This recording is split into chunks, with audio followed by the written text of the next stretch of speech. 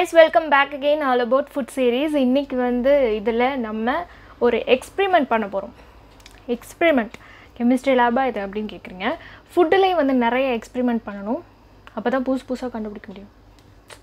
Okay விஷயத்துக்கு வந்துடுவோம் என்னென்னா தேன் நெல்லி அப்படின்னு சொல்லிட்டு ஒரு ஐட்டம் நான் கடையில் வாங்கி சாப்பிட்டு பார்த்தேன். ஹோம்மேட் ப்ராடக்ட் அந்த மாதிரி அது.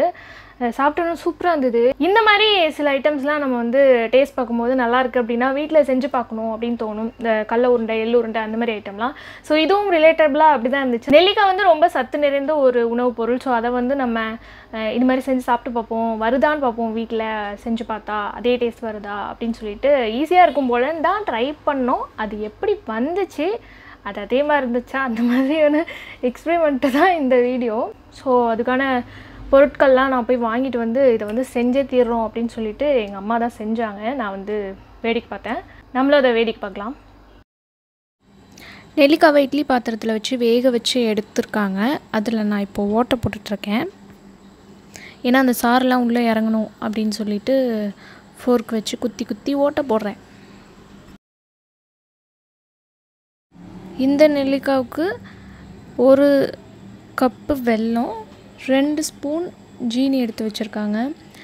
நம்ம வந்து இந்த மெஷரில் எடுத்தாலே மிச்சப்பட்டுச்சு.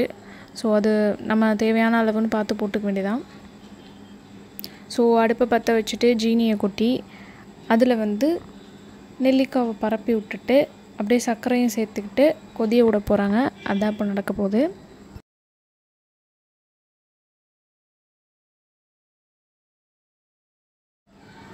இந்த ப்ராசஸில் எனக்கும் எங்கள் அம்மாவுக்கும் பயங்கரமான ஆர்குமெண்ட் நடந்துச்சு. ஏன்னா நான் வந்து இந்த மாதிரி போடாதீங்க. தண்ணி ஊற்றி சர்க்கரை அப்புறம் ஜீனி எல்லாத்தையும் போட்டு கரைச்சிட்டு அதுக்கப்புறமா நெல்லிக்காவை போட்டு கொதிய விடுங்கன்னு சொன்னேன். எங்கள் அம்மா இப்படி பண்ணலான்னு சொன்னாங்க. எப்படி வேணால் பண்ணியிருக்கலாம். இப்போ இப்படி பண்ணிட்டோம். எல்லாம் ஒன்று சேர்ந்து வரத்துக்கு கொஞ்சம் தண்ணி சேர்த்துக்கணும். கொஞ்சம் நல்லா கொதிஞ்சு அந்த சர்க்கரை ஜீனி எல்லாமே கரைஞ்சி ஒரு திக்கான பதத்துக்கு வருது. அதாவது ஒரு கம்பி பதம் அப்படின்னு சொல்லுவாங்கள்ல அந்த பதத்துக்கு வந்தோன்னே நம்ம ஸ்டவ் ஆஃப் பண்ணிட வேண்டியதான் இப்போ இதை த தனியாக எடுத்து வச்சுட்டு இதில் தேன் சேர்க்க போகிறாங்க இது வந்து அந்த செஞ்ச பாகு. இப்போ இதில் நல்லா தேனில் வந்து அது அப்படியே முழுகணும். இதை தேனை சேர்த்துட்டு நல்லா பதப்படுத்த வேண்டியது தான் இனிமேல்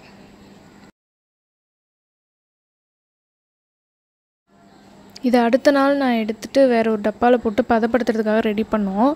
அப்போ பாருங்கள் அதில் போட்ட தேனெல்லாம் இப்படி ஆயிடுச்சு. இந்த நெல்லிக்காய் வந்து தண்ணி விட்டுருக்கோம் அப்படின்னு நினைக்கிறேன். தேன் அப்படியே தண்ணி மாதிரி ஆயிடுச்சு. இது தேன் மாதிரி இருக்குல்ல ஆனால் இது வந்து நேற்று எடுத்து வச்ச பாகு. ஃபைனலி செஞ்சு முடிச்சாச்சு. ஆனால் நான் அதை அடுத்த நாளே டேஸ்ட் பண்ணி பார்த்தேன். அது வந்து கொஞ்சம் பதப்படுத்தப்படணும். ஆனால் நான் அடுத்த நாளே ஒரு ஆசையில் டேஸ்ட் பண்ணி பார்த்தேன். சுத்தமாக நல்லா இல்லை எப்படி சொல்கிறது அதில் வந்து எந்த சுகருமே இறங்கவே இல்லை. ஸோ இது வந்து ரொம்ப நாளைக்கு பதப்படுத்தணும் அப்படின்னு சொல்லி ஓகேன்னு பதப்படுத்தணும். ஒரு மூணு வாரம் மூணு வாரம் பதப்படுத்தியிருப்போம்னு நினைக்கிறேன். இடையிடையே நான் ஓப்பன் பண்ணி சாப்பிட்டு பார்த்தேன். எந்த அளவு வந்து வந்திருக்கு அப்படின்னு. அப்படியே சாப்பிட்டு சாப்பிட்டே வந்து காலியாக இருந்திருக்கணும். சாப்பிட்டு பார்க்கும்போது சா கொஞ்சம் அந்த பதம் கிட்ட வர மாதிரி இருந்ததுன்னா ஸ்டார்டிங்கில் நான் சாப்பிட்டு பார்க்கும்போது அப்படியே நெல்லிக்காய் வந்து ஃப்ரெஷ்ஷாக சாப்பிட்ற மாதிரி இருந்தது. அப்புறமா கொஞ்சம் போக போக ச- சக்கரை பாகு வந்து இறங்க ஆரம்பிச்சிருந்தது. அதை வந்து ஓப்பன் பண்ண முடிஞ்சது இப்படி பிக்க முடிஞ்சது. ஸோ இன்னும் வந்து அது பதப்படணும் போல் அப்படிங்கும்போது இடையிலே வந்து பதப்படுத்துகிற ப்ராசஸில் சில தவறுகள்லாம் கூட நடந்தது. அந்த சக்கரை பாகுல முழுகி இருந்துச்சு அப்படின்னா அந்த நெல்லிக்காய் நல்லாயிருக்கு அதுலேருந்து வெளியில் இருக்கிற நெல்லிக்காய் வந்து பூசணம் பூக்க ஆரம்பிச்சிச்சு இது ரொம்ப டேஞ்சரான ப்ராசஸ் நான் இவ்வளோ பண்ணதுக்கு பத்து ரூபா காசு கொடுத்து கடையில் வாங்கிட்டு இருக்கலாம் அப்படி கூட ஃபீல் ஆச்சு. இருந்தாலும் நம்ம செஞ்சு சாப்பிடும்போது அது ஒரு சந்தோஷம். அந்த ஒரு அல்பாசிக்கு தான் நான் அதை பண்ணது. இருந்தாலும் அவ்வளோ மோசம்னு சொல்ல முடியாது. ஏன்னா இந்த ப்ராசஸ் ஸ்டார்ட் பண்ணும்போது எனக்கு தெரியும். கடையில் உள்ள மாதிரி அப்படியே அச்சடிச்ச மாதிரிலாம் கிடைக்காது. கொஞ்சம் சேஞ்சஸ் இருக்கும் அப்படின்னு. ஏன்னா அவங்க வந்து என்னென்ன சேர்ப்பாங்கன்னு நமக்கு தெரியாது. ஸோ கொஞ்சம் சேஞ்சஸ் இருக்கும். இருந்தாலும் சாப்பிட்ற மாதிரி இருக்கும் அப்படின்னு நினச்சி தான் பண்ணது. இதில் முக்கியமான விஷயம் என்னென்னா அந்த நெல்லிக்காவை நம்ம பத்திரமா கரெக்டாக பதப்படுத்தணும். அதுதான். இப்போ நான் ஃபைனலாக எத்தனை ஒரு மூணு வாரம் ஆயிருக்கு. அதுக்கப்புறம் அந்த நெல்லிக்காய் எப்படி இருக்குது அப்படின்னு சொல்லிட்டு அந்த ரிசல்ட் உங்களுக்கு நான் காமிக்கிறேன். ஆக்சுவலி ஊறுகாய் மாதிரி தான் ஸ்மெல் ஸ்மெல் வருது. சுருங்கிடுச்சு பதப்படுத்தின மாதிரி ஆயிடுச்சு தான் இப்போ ஊறுகாய் நெல்லிக்காய் ஊறுகாய் அந்த ஸ்மெல் தான் வருது. அவ்வளோவா இதில் சாரி இறங்கலை. நாங்கள் பண்ண மிஸ்டேக் ஒரு வேளை வேக வைக்கலை ஒழுங்காக வேக வைக்கலாம கூட இருந்திருக்கலாம். இருந்தாலும் இதை பதப்படுத்தினா தான் நல்லாயிருக்கும். ஸோ நான் இதை டேஸ்ட் பண்ண போகிறேன்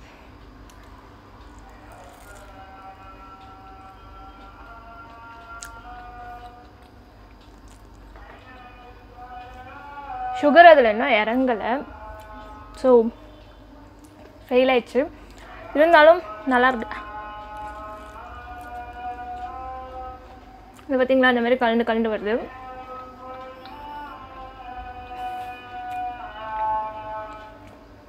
இது ஒரு டேஸ்ட்டாக இருக்கும். ரொம்ப சுகராக இல்லாமல் எனக்கு பிடிச்சிருப்பா. ஆனால் ரொம்ப கஷ்டப்பட வேண்டியதாக இருந்தது. அதுக்கு பேசாமல் கடையில் போய் பத்து ரூபா கொடுத்து வாங்கி தந்துடும் அப்படி தோணுச்சு.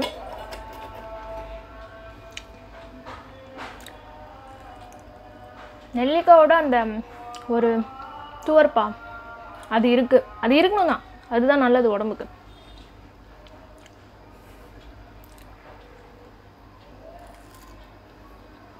நெல்லிக்காய் ஊறுகாய் ரொம்ப பிடிக்கும். இதுவும் சூப்பராக இருக்குது இன்னொரு தடவை இதை ட்ரை பண்ணலான்னு தோணுது. இன்னொரு தடவை சூப்பராக ட்ரை பண்ணும். கொஞ்சம் நெல்லிக்காய் இன்னும் நல்லா வேக வச்சுட்டு அப்போ வந்து சாறு உள்ளே இறங்குதா அப்படின்னு ட்ரை பண்ணும். அதே மாதிரி தேன் வந்து நல்ல தேனாக வாங்கணும். அந்த தேன் வந்து சரியில்லைன்னு எனக்கு தோணுச்சு. எவ்வளோனா அறுபது ரூபாய் என்னமோ அந்த தேன். அது வந்து தேன் மாதிரி தோணலை. ஸோ நல்ல தேனில் பண்ணால் ஒரு வேளை நல்லாயிருக்குமோ என்னமோ. கடையிலே தேன் போடுறாங்களான்னு தெரிலையே இன்னும் கொஞ்ச நாள் ஆனால் சூப்பராக இருக்கும்னு தோணுது எனக்கு. அது வரைக்கும்லாம் நெல்லிக்காய் இருக்காது ஃபினிஷ்டு இன்னும் ஒன்று தான் இருக்குது ஓகே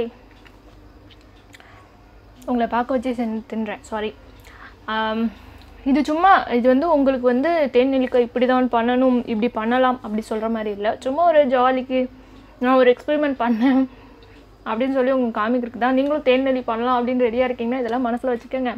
இந்த வீடியோ பிடிச்சிருக்கு அப்படின்னா லைக் பண்ணுங்கள் யாருக்கா ஷேர் பண்ணலாம் ஷேர் பண்ணலாம். சும்மா ஒரு ஜாலிக்கான இந்த வீடியோ என்ஜாய் பண்ணியிருப்பீங்கன்னு நினைக்கிறேன்.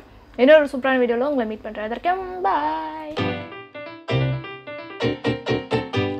நெல்லிக்காய் வந்து ரொம்ப சத்துள்ள ஒரு காய். காயே கனியா?